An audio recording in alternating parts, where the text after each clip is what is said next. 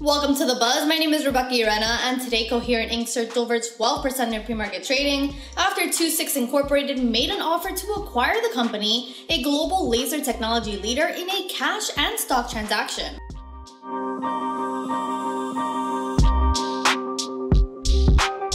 Shareholders would receive $130 in cash and 1.305526 common shares for each Coherent share under the proposal.